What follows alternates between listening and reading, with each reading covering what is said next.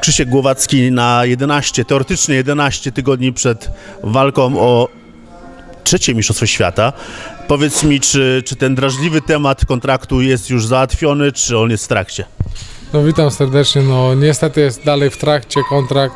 Kontrakt nigdy, niby przyszedł, jeszcze mailem nie dostałem, ale spotykam się z promotorem, z trenerem, także, także zobaczymy. Coś słyszałem, że to dzisiaj ma być, tak? Dzisiaj już teoretycznie te ciśnienie może z Ciebie zejdzie. Tak jest, tak jest. Mam nadzieję, że już zejdzie, że już się zajmę tylko treningiem, skupieniem na trening, a, a nie jakimiś tam pobocznymi sprawami.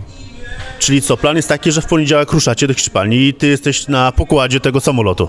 Tak jest, tak jest. W końcu Hiszpania, fajnie po górach pobiegamy, tam naprawdę są fajne góry, ciężki obóz, także przed nami, ale jest motywacja.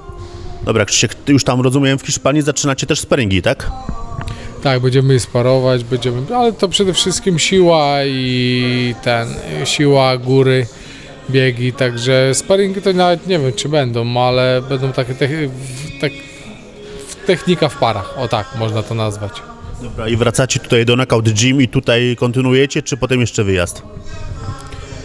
Eee, chyba jest 21 listopada walka Gołowki Szeremeta. Tu będziemy lecieć bodajże na 3 tygodnie do Stanów i tam będę sparował w Stanach na pewno.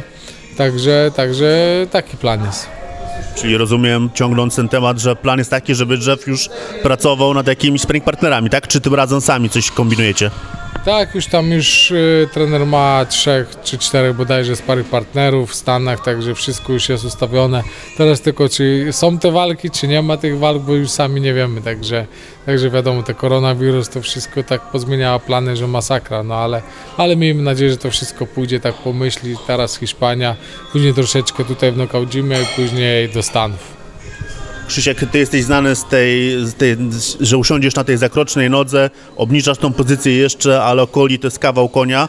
Jest bardzo duży jak na warunki kategorii cruiser. Czy w związku z tym planujecie coś leciutko pozmieniać w tej twojej pozycji? Cały czas, cały czas zmieniamy tą pozycję, cały czas pracujemy nad obroną, co chwilę co innego, no zobaczymy, wiadomo, na treningach wszystko inaczej wychodzi, w walce inaczej wychodzi, tak? Także no mam nadzieję, że wszystko będzie w porządku, tak jak pracujemy, to tak zrobimy, to wykonamy plan.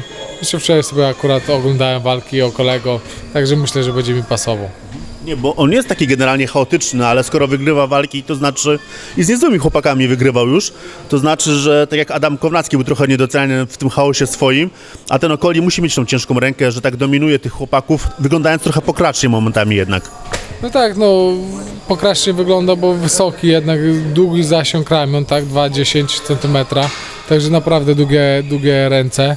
No ale no widać, że siłę ma, widać, że siłę ma właśnie fizycznie gdzieś tam ich przybija, gdzieś tam wywraca, także trzeba będzie na pewno uważać. Dlatego planujemy też troszeczkę więcej obrony robić i wszystko.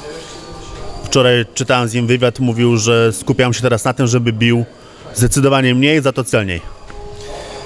To niech bije mniej celnie, no ale zobaczymy jak przyjmie jeszcze, niech się na tym też skupi, bo na pewno przyjmie jakiś cios.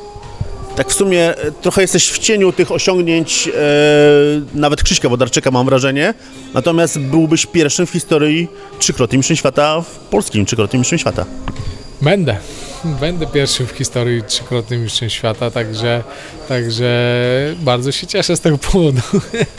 Motywacji ci nie brakuje, to super, tylko jeszcze na koniec jedno pytanie. Jak ty e, przyjąłeś tą walkę sobotnią Bradisa z Dortikosem?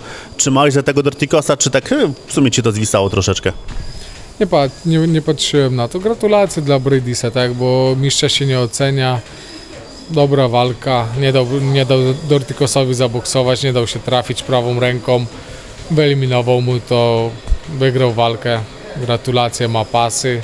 Teraz moja kolej zdobyć pas w boj, rewanż. Właśnie on coś wspomina o wadze ciężkiej. Tam e, sądzi, że ta sytuacja będzie taka.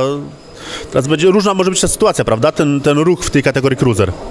No różnie, różnie, no zobaczymy. No mam nadzieję, że dotrzyma słowa i zrobimy rewanż. A jak będzie, to zobaczymy. Póki co życzę Ci zwycięstwa na Tokoli, dobrego kontraktu na tą walkę i żebyś taki uśmiechnięty też ze mną rozmawiał po walce. Dzięki wielkie. Dzięki wielkie, pozdrawiam serdecznie, hej.